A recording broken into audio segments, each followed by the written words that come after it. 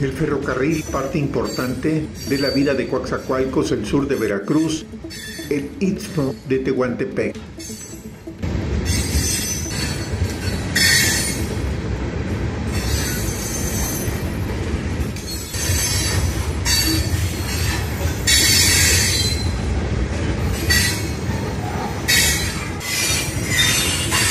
Soy Pedro Cayetano.